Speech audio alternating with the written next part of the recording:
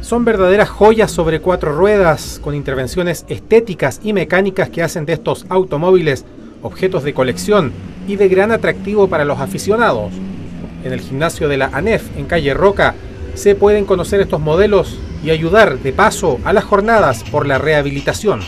Nos organizamos con, con harto tiempo, eh, pedimos ayuda en hartos lados, como en todas partes, pues. siempre la mitad nos apoya, la otra mitad hacemos oídos sordos, pero nunca está de más dejar porque todos tenemos hijos, familia y los problemas siempre están, así que por eso siempre tenemos la mente de poder apoyar a todos.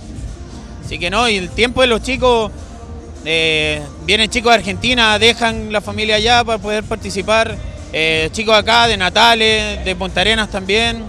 La muestra se puede visitar este sábado a partir de las 3 de la tarde.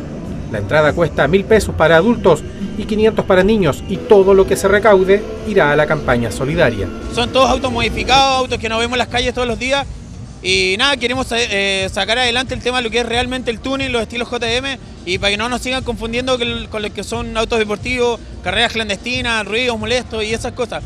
Para eso igual aprovechamos estas instancias de, hacer eventos como corresponde. Mañana va a haber eh, danza urbana y van a haber competencias de los autos, entonces esperamos que venga más gente.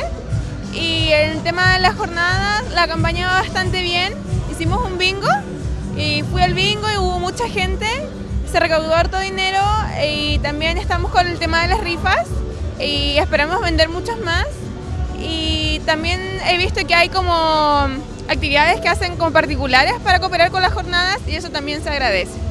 Son 25 autos en exhibición que se pueden admirar y además conversar con sus propietarios para conocer más de esta afición a los autos modificados.